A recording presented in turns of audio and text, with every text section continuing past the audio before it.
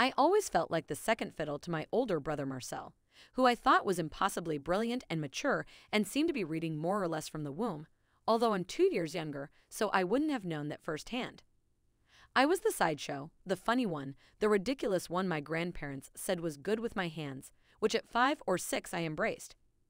It was only as I got older I realized it meant might not want to stay in school past 14 or 15.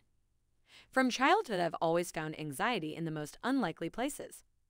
Aged six, I remember watching maypole dancers skipping around and braiding these ribbons into beautiful patterns at my S South London primary school, and even though I was still in the infants and wouldn't be doing it for years, I thought, I'm never going to be able to fucking dance around a maypole.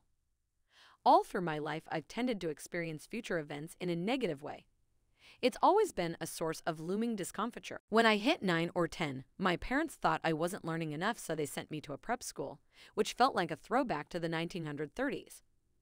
The school seemed to pride itself on being old fashioned and still used corporal punishment. Pupils were hit on the hand with a ruler, spanked on the bum with a plimsoll, or slapped on their thighs with a bare hand.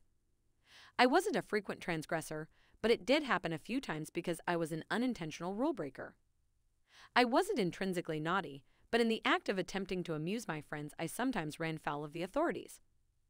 I arrived at the place I'm at in life by accident.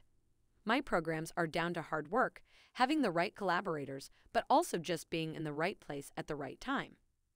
It's not something I aspired to be or ever expected, and I'm reluctant to get too comfortable in the role of whatever it is that I am.